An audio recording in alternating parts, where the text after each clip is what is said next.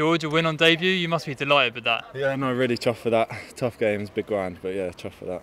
Yeah, no, it was real nice. Um, something I've been wanting to do for a while, so I was quite happy to get the call up. Uh, got told on Monday, so yeah, I've been excited ever since. And what did you do when you found out? Was it mates, family? Who did you call? Who did you text? Yeah, I texted my dad straight away. Um, yeah, let him know, but kept it quiet till then. Obviously, it was a surprise to come on, but I mean, I was ready for it. Hope Dino's all right. Um, yeah, just happy to get out there. And the scrum in particular was a real weapon for us tonight. Was that nice being a part of that? Yeah, it was. It was nice, especially getting a penalty, all the lads together. Um, yeah, it's a good part of the game. That. Linking up with um, Stephan Lewies in the second row, what, was he helping you through it? Was he talking you through the game? Yeah, massively. Steph's someone that I learn a lot of. Um, he's got a lot of lot of traits that I want to put into my game. So yeah, it was nice to actually run out of him.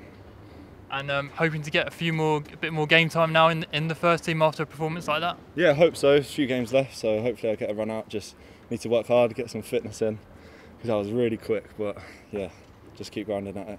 And in the academy here at Harlequins, you must always feel like there's an opportunity. It's a club renowned for its academy products. Yeah, a lot of academy players coming through. Um, they got youngsters about. So yeah, I think all us young lads are pretty excited for the times coming. And you've fans at home might know you've been involved with England under 20s this season. Can you talk a bit about that and how your development's gone?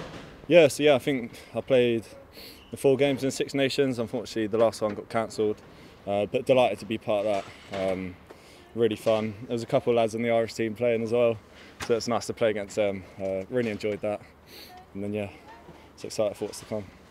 Cheers, George. Well played tonight, and enjoy yourself. Cheers. Thank you. Cheers.